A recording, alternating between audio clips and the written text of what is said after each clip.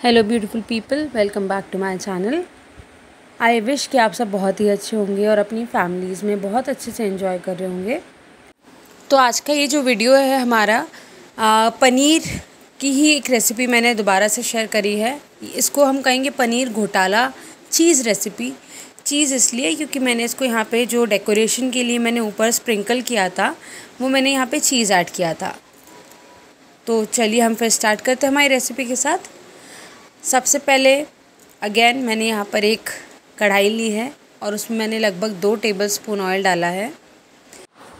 इसके बाद में मैंने यहाँ पर एक स्पून जीरा ऐड किया है। और हाँ इस टाइम पर मैंने इंडक्शन का जो फ्लेम था उसको कम किया था। इसके बाद में मैंने यहाँ पे लहसुन बहुत ही बारीक चॉप करके या फिर मिन्स करके मैंने ऐड किया है। और उसके बाद में मैंने यहाँ पे दो हरी मिर्च ऐड करी है, बारीक। यहाँ पर मैंने एक गलती करी है कि मेरा जो जीरा है वो ओवर फ्राई हो गया था तो उसका आप प्लीज़ ध्यान रखिएगा। अब इस स्टेज में हमने जो वेजिटेबल्स वो ऐड करना स्टार्ट किया है, सबसे पहले मैंने यहाँ पर प्याज ऐड करा है। प्याज मैंने एक ही लिया था, उसी को मैंने बारीक चॉप करके ऐड कर दिया, बड़ा था साइज़ में। और उसके बाद साथ के साथ मैंने यहाँ पे एक हमारी कैप्सिकम मतलब कि शिमला मिर्च ऐड करी है। यहाँ पे मैं थोड़ा सा नमक डालूँगी ताकि प्याज जल्दी से फ्राई हो जाए। उनको बस मुझे ज़्यादा से ज़्यादा थोड़ा सा ट्रांसल्यूसेंट करना है। अब यहाँ पर आप देख सकते हैं कि सब्ज़ी में हल्का सा ऑयल दिखने लग गया है। इस स्टेज पर मैंने एक कप मटर ऐड करे हैं। ये आपका चॉइस है, आप चाहें तो ऐड कर सकते हैं या फिर आप स्किप कर सकते हैं। अब बारी आती है हमारे सूखे मसालों की। तो मैंने यहाँ पे सबसे पहले एक स्पून हल्दी पाउडर ऐड किया है। एक से डेढ़ चम्मच मैंने यहाँ पे लाल मिर्च पिसा हुआ ऐड किया है। एक चम्मच धनिया पिसा हुआ ऐड किया है। और इन मसालों को हम अच्छे से फ्राई कर लेंगे। इनको हम ज़्यादा देर नहीं फ्राई करेंगे क्योंकि मटर फ्रोज़न है तो ज़रूरत नहीं है ज़्यादा हमें फ्राई करने की। अब यहाँ पर मैंने एक कप या फिर मैक्सिमम एक बाउल बोलेंगे और दो कप मानेंगे उसको। वो मैंने टमाटर का पेस्ट प्योरी उसको बना के मैंने ऐड किया है। नॉर्मल प्योरी है, मैंने अलग से टमाटर को बॉईल नहीं किया था और इसको मैंने इसको पकने के लिए रख दिया है। आप देख सकते हैं कि कुछ टाइम पकने के बाद में यहाँ पर जो ग्रेवी है उसमें उबाल आने लग गया है।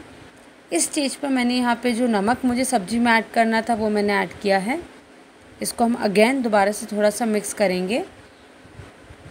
यहाँ पर मैंने एक पाउडर यूज़ किया है, इसको सीजनिंग पाउडर कहा जाता है एरोमैट सीजनिंग पाउडर ये बेसिकली फ्लेवरिंग के लिए पर्पज़ के हिसाब से यूज़ किया जाता है और साथ ही मैंने उसमें एक कप मिल्क ऐड किया है। ये ऑप्शनल है, आप चाहें तो ऐड करें या आप चाहें तो उसे स्किप कर दें। मेरी तरफ़ से मैं कोशिश करती हूँ कि मिल्क ही ऐड करूँ ग्रेवी वाले रेसिपीज़ में। अब यहाँ पर मैंने एक चम्मच गरम मसाला ऐड किया है, पिसा हुआ और इसको मैंने प्रॉपरली मिक्स कर दिया है। यहाँ पर अगर आप देख सकते हैं तो सब्ज़ी में अच्छा से एक बॉयल आ चुका है। उसके बाद में मैंने जो पनीर लिया था, और लगभग से लगभग ढाई सौ ग्राम पनीर मैंने लिया है, उसको मैंने अच्छे से आप बोल सकते हैं कि घीस के ऐड कर दिया है। इसको अब हम प्रॉपरली मिक्स कर देंगे। यहाँ पर आप देख सकते हैं कि सब्ज़ी ऑलमोस्ट रेडी हो चुकी है। उबाल भी आने लग गया है, पर मुझे इसमें थोड़ा सा ग्रेवी ज़्यादा रखना था, इसलिए मैंने मिल्क थोड़ा सा और ऐड किया है। ये आपके चॉइस पर है, आप चाहें तो उसको भी स्किप कर सकते हैं। और मैंने थोड़ा सा फ़ूड कलर ऐड किया है, क्योंकि मुझे उसमें वो जो कलर था, वो थोड़ा सा मुझे ब्राइट चाहिए था, इस वजह से। बाकी ये भी ऑप्शनल है, आप चाहें तो उसको स्किप कर सकते हैं। सब्ज़ी ऑलमोस्ट रेडी है, आप ऊपर से यहाँ पे कोरिएंडर स्प्रिंकल करिए। अब इस स्टेज के बाद मैंने मैंने इसको प्रॉपरली थोड़ा सा और मिक्स करा है, क्योंकि मैंने यहाँ पे धनिया ऐड किया था तो हल्का सा उसको पकाने के लिए। सर्विंग के लिए मैंने एक अलग से छोटा सा कढ़ाई है, उसमें मैंने सर्व करने के लिए इसको ऐड रख दिया है।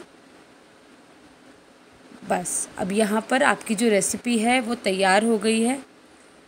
अमेजिंगली टेस्टी लगती है, बहुत ही सिंपल बनती है। यहाँ पे आप देख सकते हैं मैंने चीज़ ऐड किया है और थोड़ा सा मैंने जो घिसा हुआ पनीर था वो रखा हुआ था, वो भी मैंने ऐड किया है। इसका मैं शूट करना भूल गई। हाँ आप भी अपने एंड से इसको प्लीज़ ट्राई करिएगा। रेसिपी कैसी लगी ये प्लीज़ मुझे बताइएगा। थैंक यू सो मच अपना ध्यान रखिएगा। Bye bye take care